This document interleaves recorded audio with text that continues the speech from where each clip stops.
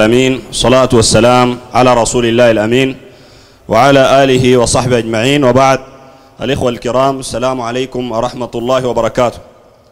يقول الله سبحانه وتعالى إن ربكم الله الذي خلق السماوات والأرض في ستة أيام ثم استوى على العرش. يدبر الأمر ما من شفيع إلا من بعد إذنه.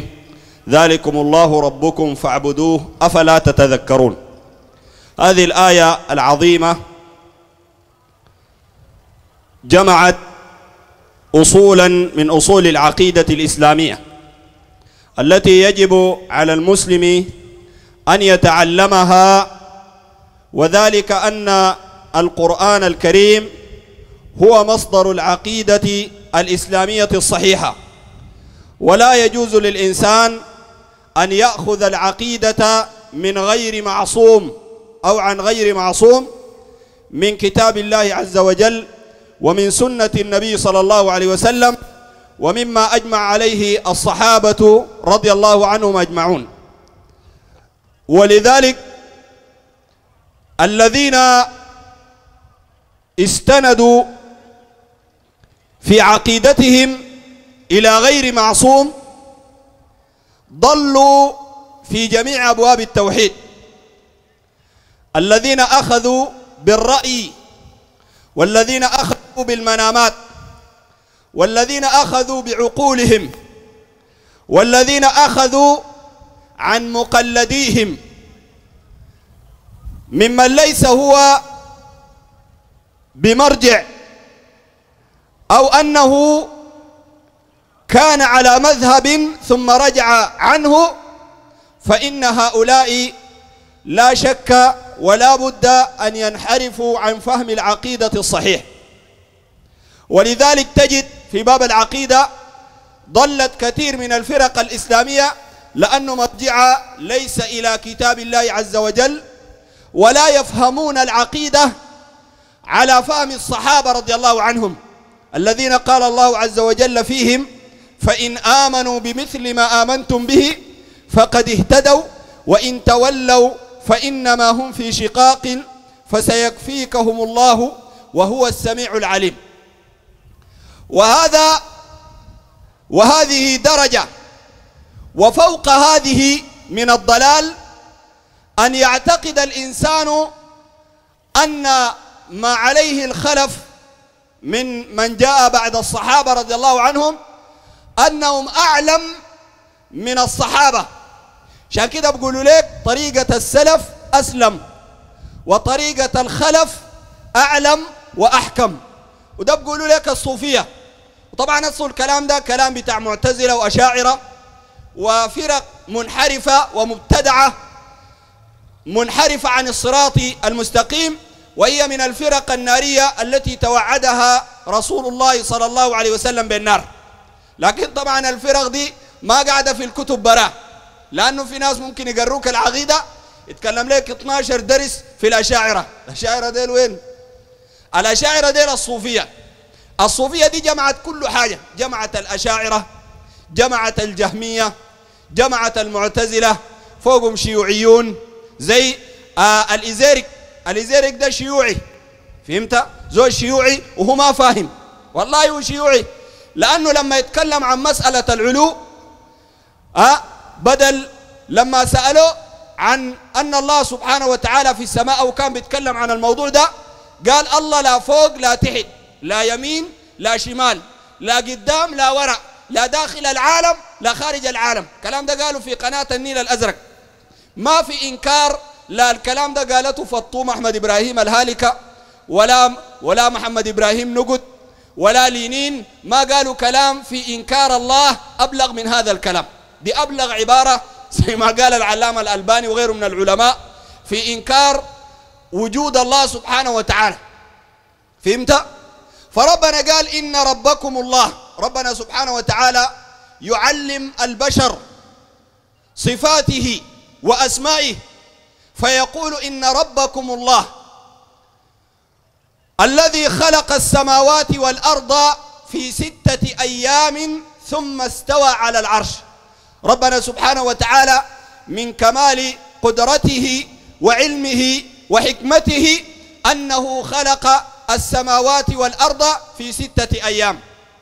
قال ثم استوى على العرش أي على وارتفع كما قال أبو العالية في كتاب التوحيد من صحيح الإمام البخاري رحمه الله.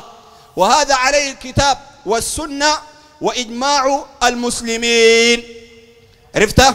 وهذه الآية إن ربكم الله الذي خلق السماوات والأرض في ستة أيام ثم استوى على العرش وردت في سبع مواضع في القرآن الكريم وجاءت في موضعين آخرين استوى إلى.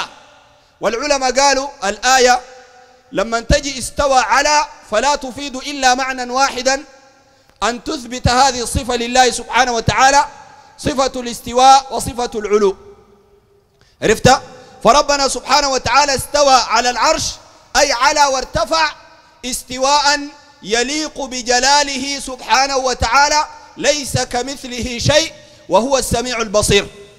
لما جاء ذلك الرجل إلى الإمام مالك وهذا الأثر أورده البيهقي في الأسماء والصفات وأورده الإمام ابن عبد البر في شرح الموطأ وغيره من السلف وكذلك أوردوا الإمام الذهبي وأوردوا اللالكاي وغير من أهل العلم.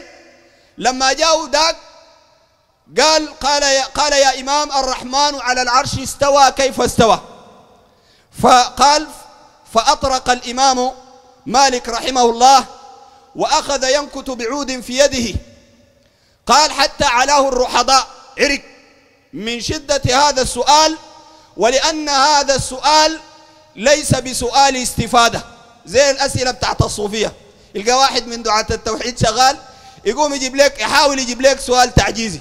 يقول لك ما اسم النملة التي في قوله تعالى وقالت نملة يا أيها النمل ادخلوا مساكنكم.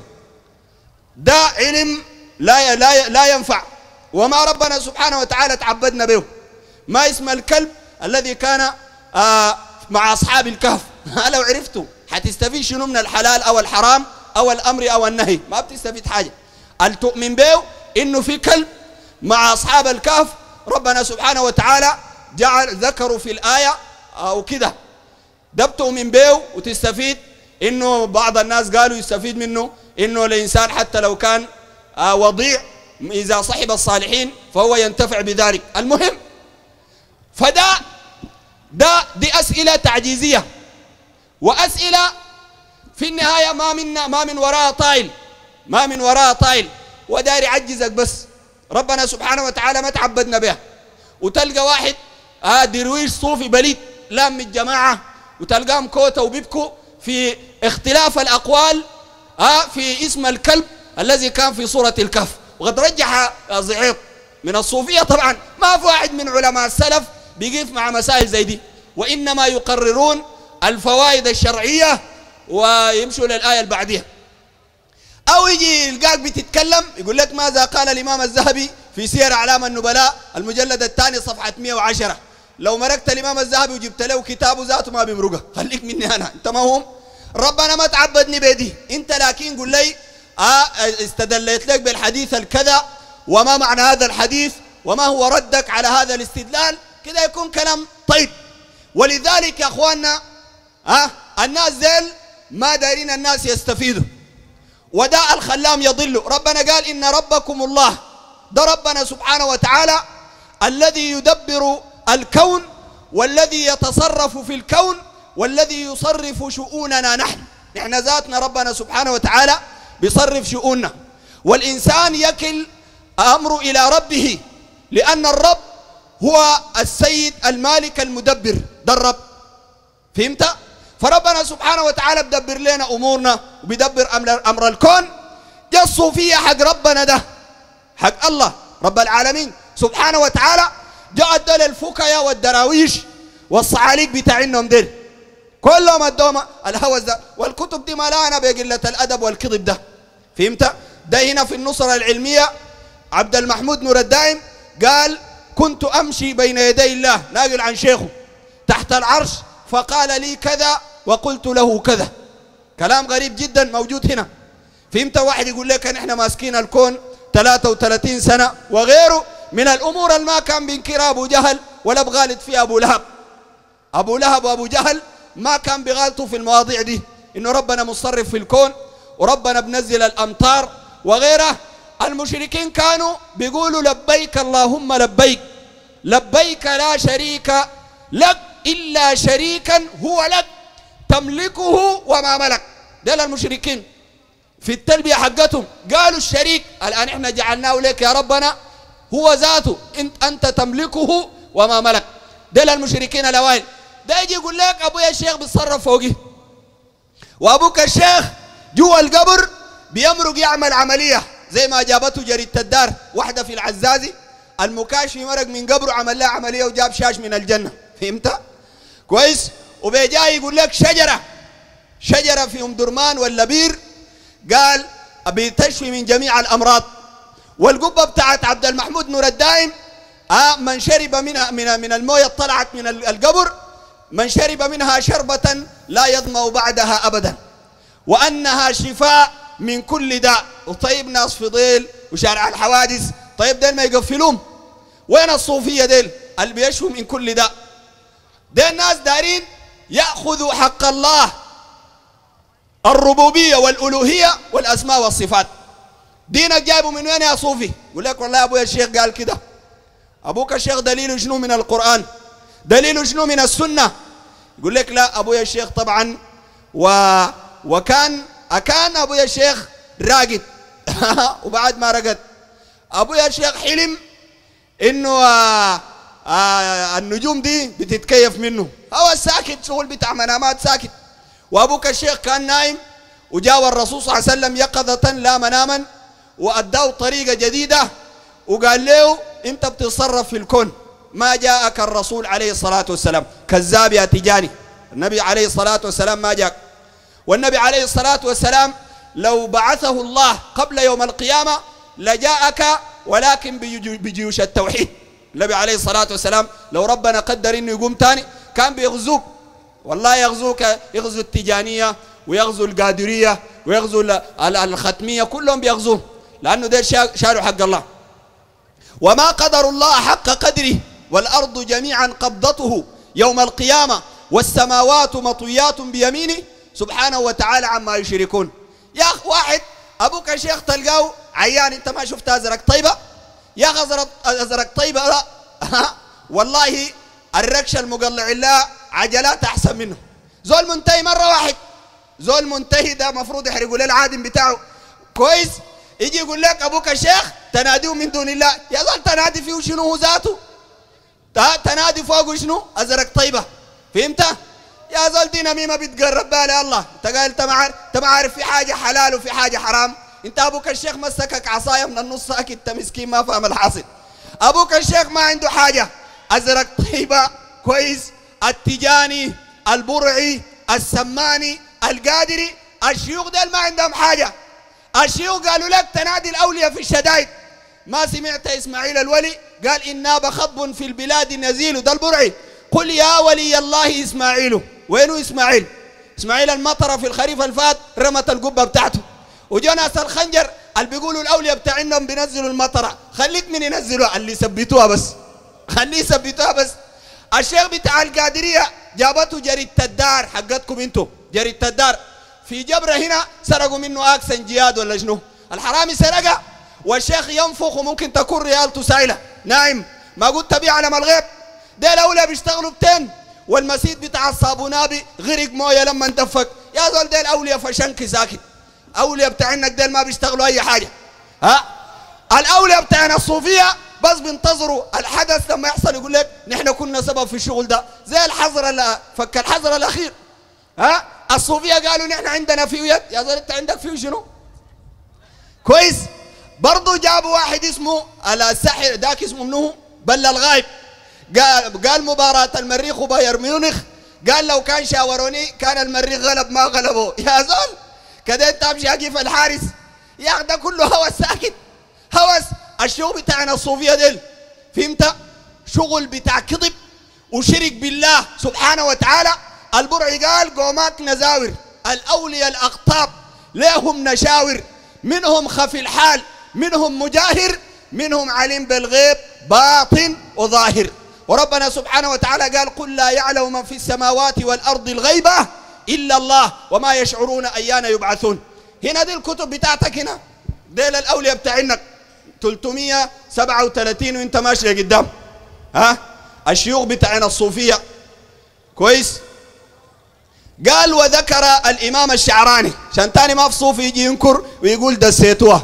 دسيناه وانت اللي بنومك شنو؟ قال في ترجمة سيدي الشيخ إبراهيم المدبولي قدس الله سره. ده كتاب النصرة العلمية لأهل الطريقة الصوفية. الشيخ الأستاذ الشيخ عبد المحمود بن الشيخ نور الدائم الطيبي 1845 1915 تحقيق البروف الفاتح الحبر عمر أحمد الطبعة الخامسة. 1436 2015 مشيخة الطريقة السمانية بطابط سلسلة المطبوعات. آه الله أكبر. شنو كده؟ حاجة كده صغيرة. طيب. قال أنه كان يسأل الفقراء القاطنين عن أحوالهم. ده الفقيه بيسأل الدراويش المعاو ويباسطهم. فرأى يوما شخصا منهم كثير العبادة ناقص الدرجة. الشيخ شاف زول عبادته كثيرة لكن العداد بتاعه ما قاري كويس. فهمت؟ قال فقال له لعل والدك غير راض عنك. قال لا ولدي شكله أبوك لما مات ما كان راضي عنك. والله صح أبوه له حق ما يرضى عنه؟ يخلي أبوه في زراعة وفي شغل كثير في زمن الزول ده. الناس كان كان بتحتاج لأولاده يشتغلوا معاه. تمشي تخلي أبوك المحتاج لك تمشي تشتغل مع الشيخ. يقول لك أبويا الشيخ أنا بخدمك أربعين سنة بتضيع زمنك ساكت. سوي بالشيخ شنو؟ هو كان راجل ما يقوم يشيل طورته ويشتغل مع الناس. فهمت؟ النبي عليه الصلاة والسلام قال أطيب الكسب أن من عمل الرجل بيده وإن نبي الله داود كان يأكل من عمل يده. فهمت؟ لكن أبوك الشيخ قاعد ومختم على العتود بتاعك. وإنت لو بقيت زي العتود بتودي له العتود. قال فقال نعم. قال أتعرف قبره؟ قال نعم. فقال يذهب بنا إلى قبره لعله يرضى. بعد مات تاني في حاجة تاني بيرضى ولا بيزعل؟ يعني عادي جوا الصوفية ممكن يدق له مسكول وممكن يرسل له رسالة في الواتس فهمتها وممكن يكون في فيسبوك ويعمل تحديث للحالة بتاعته جوا القبر. ده ما ده ما دين الصوفية كده. قال قال آه قال قال الشيخ يوسف الكردي لقد رأيت والده خرج من القبر ينفض التراب عن رأسه حين ناداه الشيخ قال بقى ينفض شنو؟ التراب. مرق التراب حق المطمورة كلها. ومرق الطين وال وال وال وال والطوبة الدقبه في ود اللحد. وجمارق آه وملفح.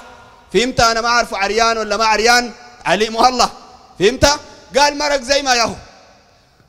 فقال الشيخ الفقراء جو شافعين ليطيب خاطرك. يا زول انت قال الشفاعة دي ساي؟ الشفاعة دي أول حاجة للزول الميت ده بتكون قبل ما قبل ما انت تدفنه. تقوم تصلي عليه دي اسم الشفاعة. والحديث في صحيح الإمام مسلم إنه النبي عليه الصلاة والسلام قال قال ما من مسلم يصلي عليه أربعين رجلا. آه لا يشركون بالله شيئا إلا غفر له. دي شفاعة. لكن بعد ما تاني تمرقوا ده أحيا وقال لك أحيا الميت. قال فقال أشهدكم أني قد رضيت عنه. فقال ارجع مكانك. فرجع وقبره بالقرب من جامع شرف الدين برأس الحسينية. ربنا سبحانه وتعالى قال ألم يروا كم أهلكنا قبلهم من القرون أنهم إليهم شنو؟ لا يرجعون.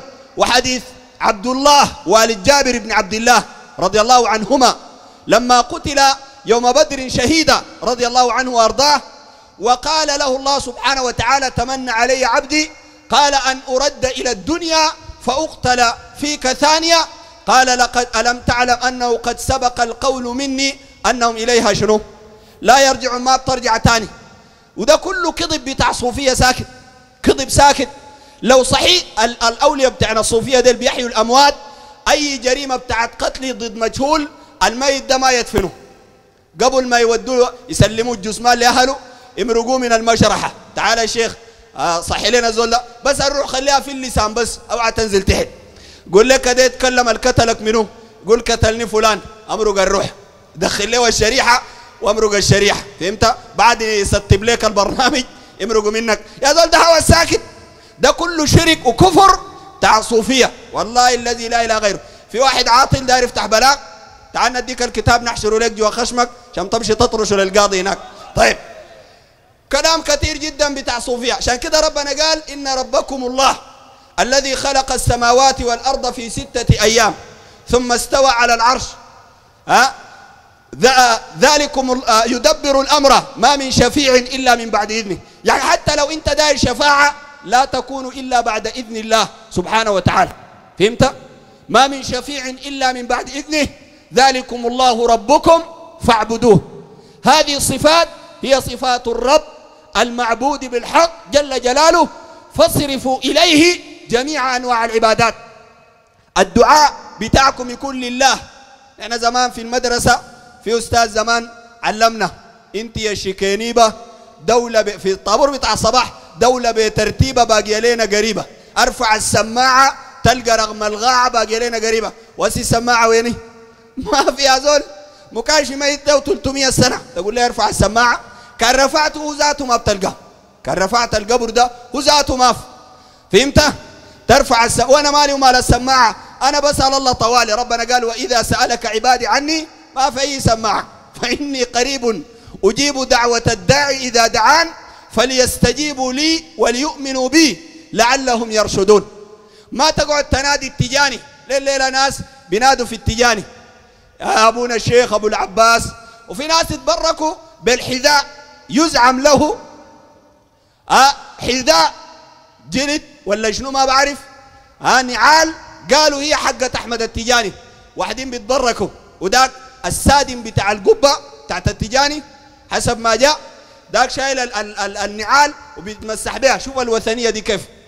آه جئناك يا شيخنا أحمد التجاني وما أعرف لك فأعطي كل سائل سؤلة وأعطي كل أحد منا مرادة ويتمسح يتمسح بالنعال.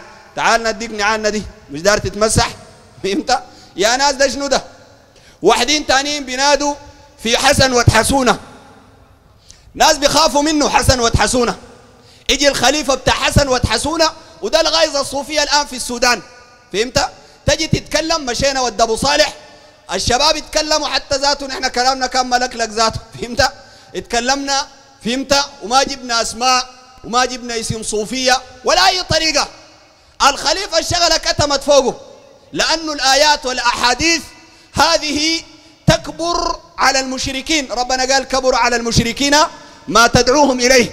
طوالي جاري أوك وما تتكلم في الشيوخ وما تتكلم في الأولياء. ويكورك انت الأولياء بتاعينك ديل ما يدافع عن نفسه. ما يدافع عن نفسه. عشان كده أنا أختم لك بالقصة دي. شفت القبب دي كلها.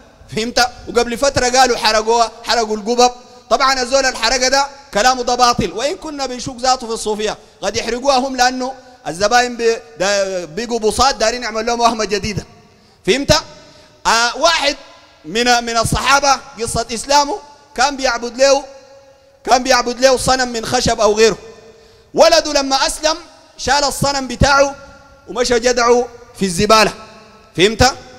فتش الصنم بتاعه ربه ما لقاه. لغاية ما مشى لقاه في الزبالة. قال له والله بعد ما طيبوا جيه قال له لو عرفت العمل فيك العملية دي منه والله الا اطقه بالسيف.